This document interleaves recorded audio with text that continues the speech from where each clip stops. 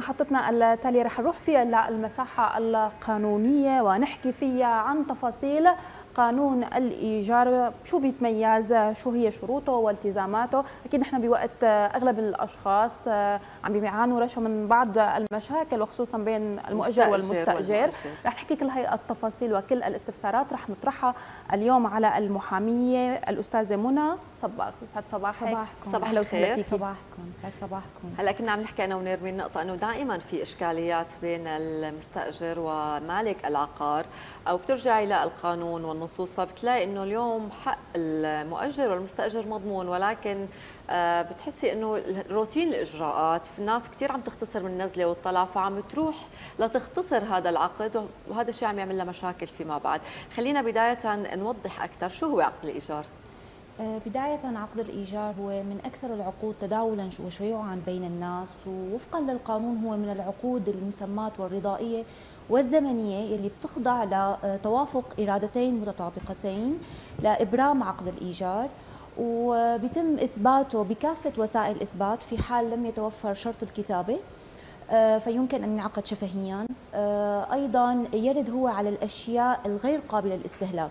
يعني بيرد على الأشياء المادية مثل المستودعات آه، العقارات القابلة للسكن آه، أيضا وعلى الحقوق المعنوية مثل آه، حق الاختراع.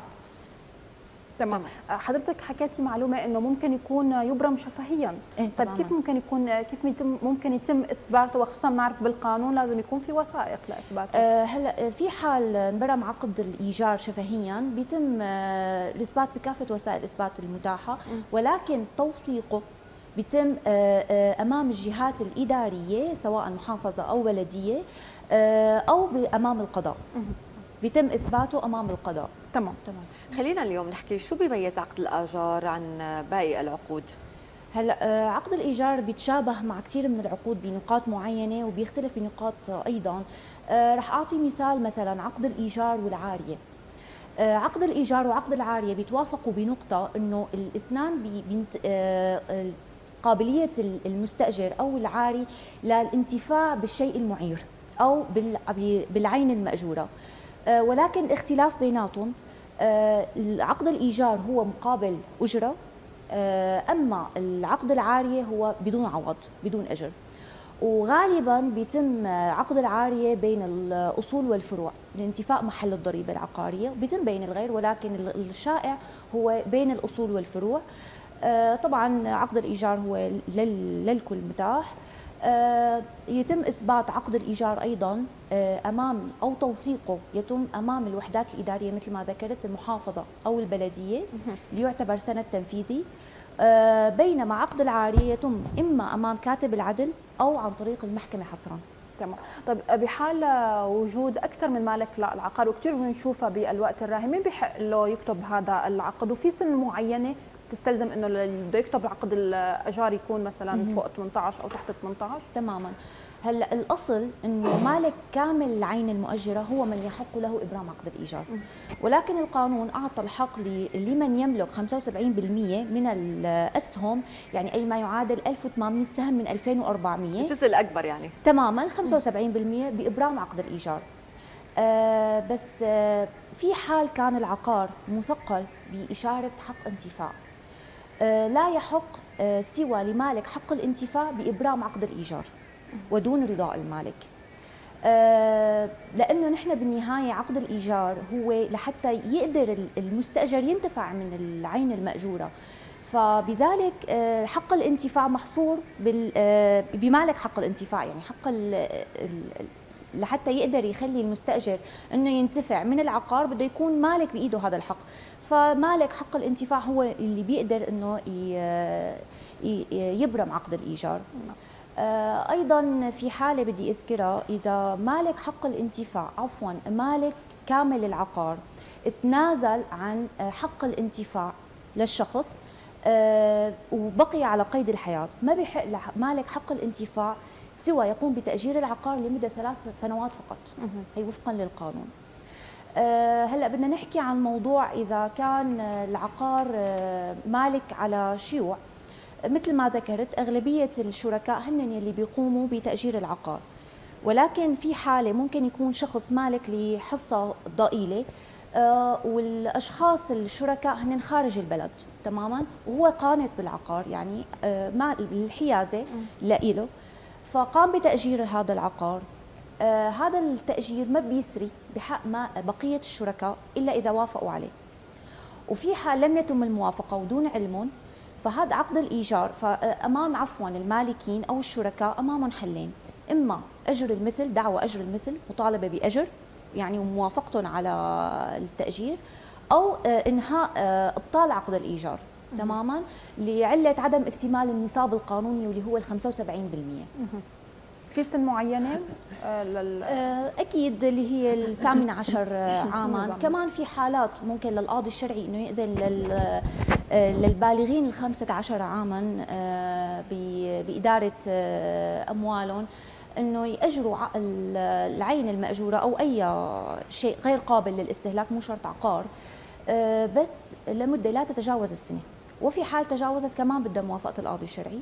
كمان أيضا في حالة وجود الولي الجبري اللي هو الأب آه، لمن تجاوز لمن لا يتجاوز الثالث عشر من العمر. كمان في حالة الوصاية في حال عدم وجود الأب. آه، مثل الجد أو الجدة.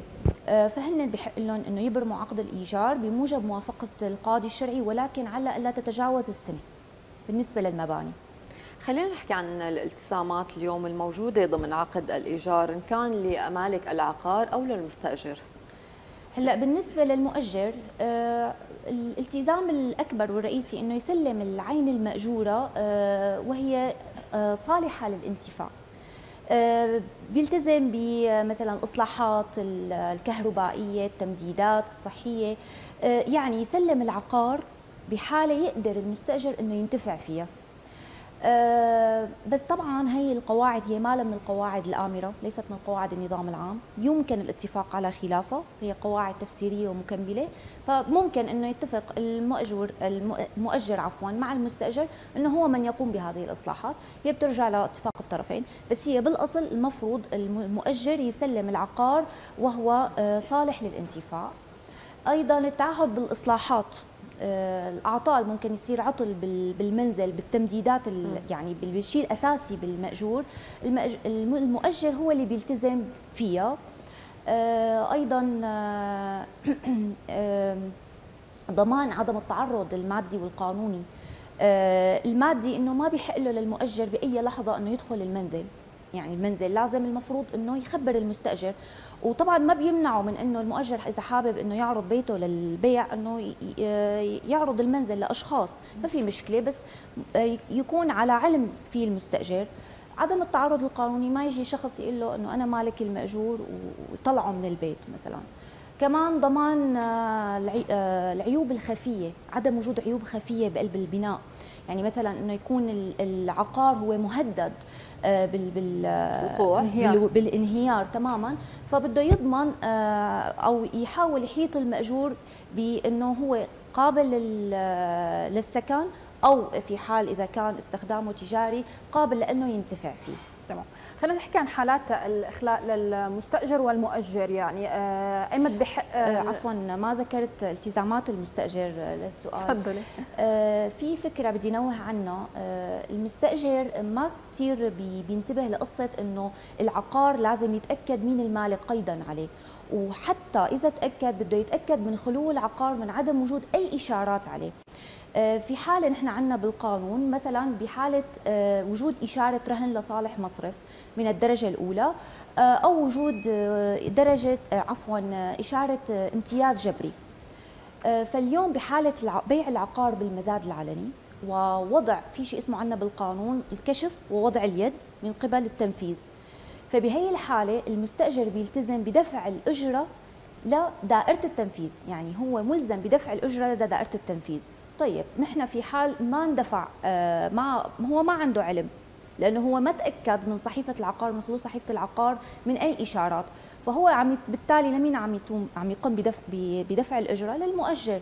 فهو اللي بيلزم ساعتها آه، دا تلزمه دائرة التنفيذ بإنه يدفع الأجرة لدائرة التنفيذ. يعني هو دفع مرة للمؤجر وصار بده يدفع لدائرة التنفيذ أيضا. فبده يتأكد مو بس إنه أنا مالك العقار هاي النقطة اللي حكينا فيها بالبداية إنه دائما إهمال هدول النقاط آه، كرمال ما الروحة والرجعة وهدول القصص ما في تشيكه كاملة على العقار فعم تروح لمشاكل كثير خلص إنه بيشوف هو إنه أنا مالك ليكني أنا مالك بالطابو وما بيتأكد بقى شو الإشارات الموضوعة على كثير العقار. بنشوفها هي الحالات. يعني هي الإشارة أو الصحيفة العقارية هي لاعلام الغير. صح. يعني هو مو من واجبه دائرة التنفيذ هي ما بتخبر المستأجر. ما أنت لما استأجرت أو عملت أبرمت عقد الإيجار أنت شايف الصفحة العقارية أو عندك علم فيها. فأنت آه، لازم تتابع هي الإشارة. تمام تمام. وأيضا إنه الالتزام بدفع الأجرة بالموعد المحدد إخلاء العقار طبعا للعقد. آه، نحن عم نحكي بالنسبة للعقود المبرمة في ظل المرسوم التشريعي رقم 20 عام 2015 أو العقود المبرمة للسكن آه، بعام 2001 أو التجارية أو لمهنة حرة بعام 2006 والكان المعدل الأخير هو المرسوم 2020 لعام 2015 اللي ذكر كل هالحالات أحيانا بنلاقي عقود طويلة شوي ممكن سنة أو سنتين. آه، بحق للمؤجر يطلع المستأجر بنص العقد أو قبل ما يخلص ويدفع له مثلا اللي بقيان له من العقد. تصير هي الحالة؟ هلأ نحن عندنا حالة المستأجر ملزم بدفع الأجرة لانتهاء مدة العقد تمام؟ في حال حبوا يفسخوا العقد ما في مشكلة. يعني هي باتفاق الطرفين. بس هو العقد الإيجار مدة معينة لقاء أجر معين. في حال أنا المستأجر اضطر يسافر. بس لازم رضا الطرفين لفسخ طبعا اي رضا الطرفين. أه حب المستأجر يسافر. هو ملزم بدفع أجره. مثلا هو أنا عامل عقد إيجار لمدة سنة أنا ملتزم إني أدفع أجره لمدة سنة. إلا إذا اتفقوا الطرفين بفسخ العقد فمثل ما ذكرت العقد شريعة المتعاقدين. تراضي يعني طرفين. هلأ كمان بدي أذكر في القانون آه، رقم 111 مرسوم 111 لعام 1952 هو الخاضع للتمديد الحكمي. آه، ما فينا ننهي عقد الإيجار في حالات لإخلاء آه، المأجور ولكن في شيء اسمه إنهاء العلاقة الإيجارية بالنسبة للعقارات السكنية. آه، طبعا هي محصورة للمالك قيدا والمسجل على السجل العقاري. يعني ما بيمشي الحال بموجب حكم محكمة لازم يكون مسجل قيدا وعلى السجل العقاري ومو من حق المنتفع هي من حق المالك فقط. فهو آه، بيقوم بدفع 40% من قيمة تخمينية للمأجور للمستاجر وبيستطيع إنه يخلي. آه هلا هذا الموضوع كثير مهم. رغم كل يعني إنه بنحس إنه في مشاكل أكثر منه مثلا في مشاكل معقدة أكثر منه بهذا العقد. ولكن دائما نحن بنلاقي في مشاكل كثير بموضوع الاجار إن كان بيت أو محلات موضوع الإخلاء بموضوع الضرائب بموضوع حتى ارتفاع أسعار الاجارات هلا بصباحات ثانية حنحكي بهذا الموضوع كثير مهم اليوم. آه القانون يتدخل بتحديد آه اجارات إن كان المحلات العقارية أو البيوت. صرنا نشوف يعني اسعار فلكيه اسعار فلك كوكب ثاني يعني. فكثير بدنا نشكرك على حضورك معنا اليوم والمعلومات اللي قدمتيها ودائما نحن بنقول القانون هو نص لحتى يضمن حق الطرفين أكيد. طبعا أكيد. محامية منى صباغ شكرا كثير لوجودك معنا اليوم. شكرا. لكم أهلا وسهلا بحضرتك.